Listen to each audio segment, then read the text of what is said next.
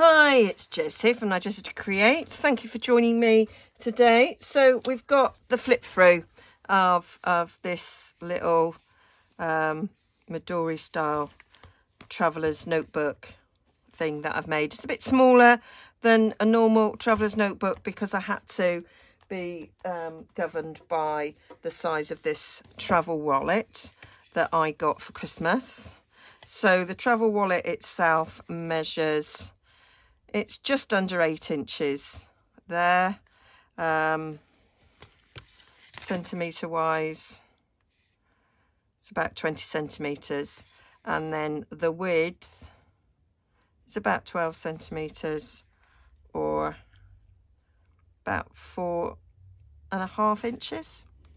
So um, that's what I work with. So I got this for Christmas and I just thought, oh, that would be a nice um, travel wallet. So the actual wallet itself, if I take the journal out,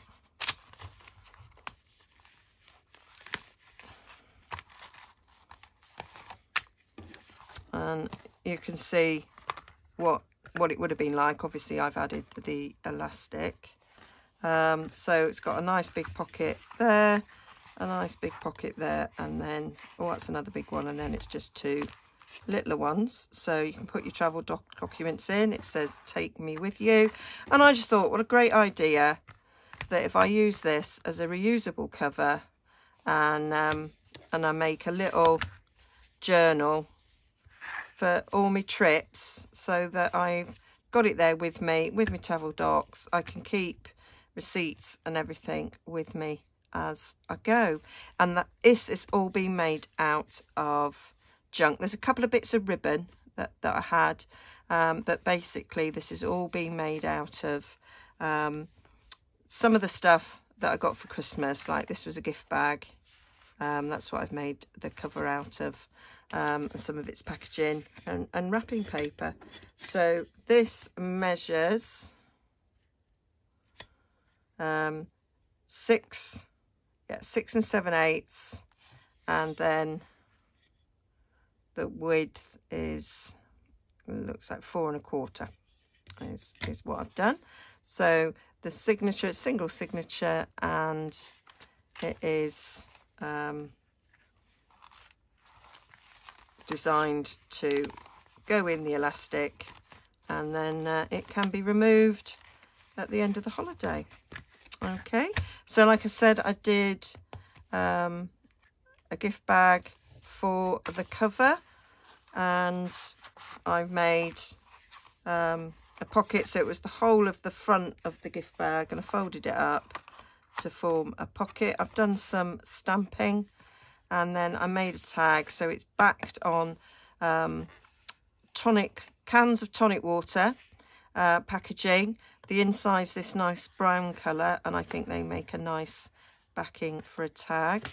And then I just stuck that to the front and just simply put memories on it with some ribbon.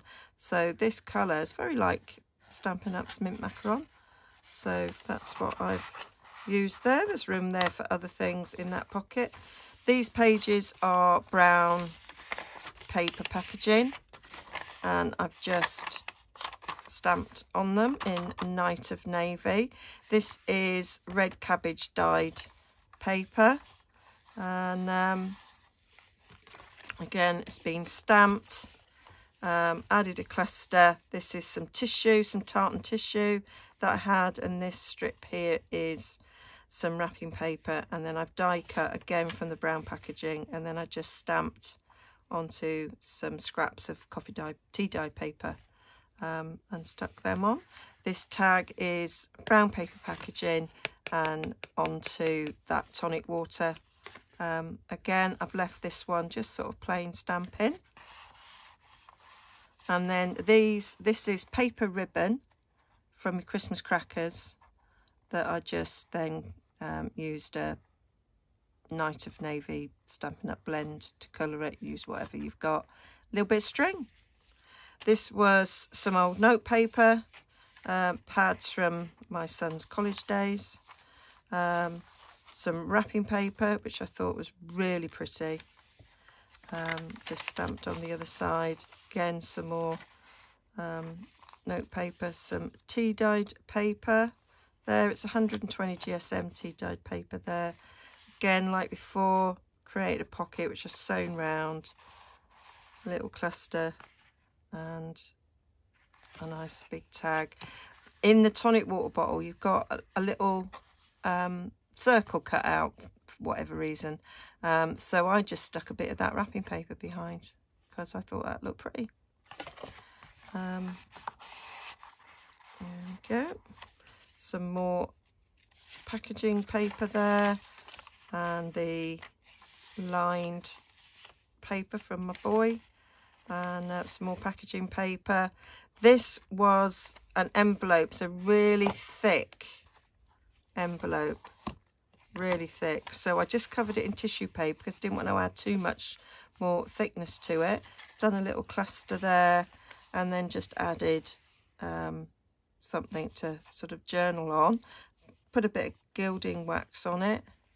Um, and then this is I got these from a charity shop. I just trimmed it down to sort of fit. So it's just like a little file folder poking out in there. The trip that we're uh, going to be taking in, in March, um, I'm going to visit my uh, Ed's sister and her husband. Um, and um, she's planning lots of excursions for us to do. So I I could write them down here just a little quick document of them and maybe put a picture of something. I'm going to ride a horse in the sea. Quite excited about that. We're going to go on kayaks to mangroves, which um, I had to Google what one of them was. But yeah, very excited. So, and um, another little cluster there. Went a bit mad with the gilding wax, but I quite like it, to be fair. More packaging more of that file paper. This is avocado dyed paper. I just put a bit of washi on there because I'd snipped it a little bit. So I wanted to cover that up. I went a bit wrong there with the uh, stamping, but I was quite, happy really. Another one of them clusters. And then this is more of the, all the tags are made out of the tonic water um, packaging. And then I've just put a bit of that wrapping paper. That gold ribbon was from a present. And then that little bit of blue ribbon, well, that was from my drawer. Some more string and some gold twine from my drawer. For that tag. Some more. So there's plenty of room for me to put photos and write on. Some more packaging.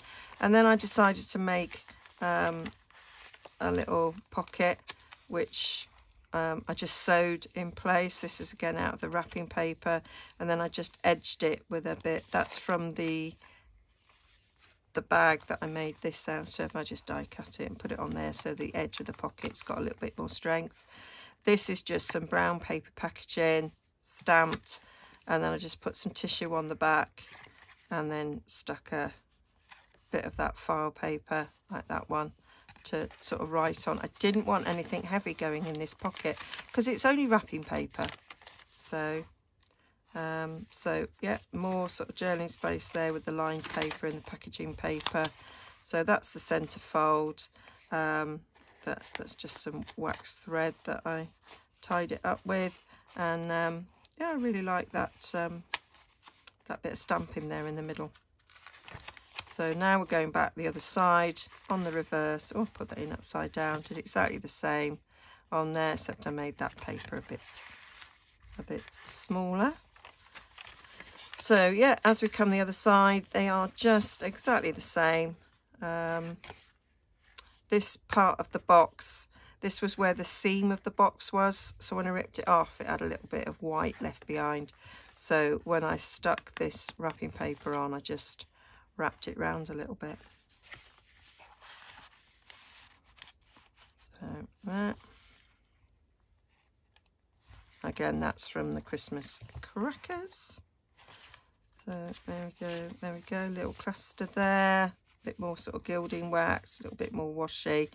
Um, and I put a tag in there. I didn't put any on this tag because it's going in and out of a full pocket and I didn't want it to, to get caught. That's been um, tied there with paper ribbon from the cracker and a bit of um, twine that I had in my stash. Again, this was another one that I had to fold over and I just added a little bit of stamping there.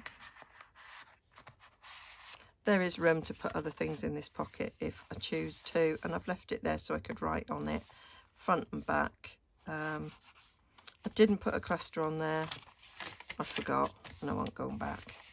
Um, so yeah, so lots of space to add my memories. Another one of those sort of plain cards, but I really like the way that that has turned out. And there we go, some more. That's Christmas wrapping page.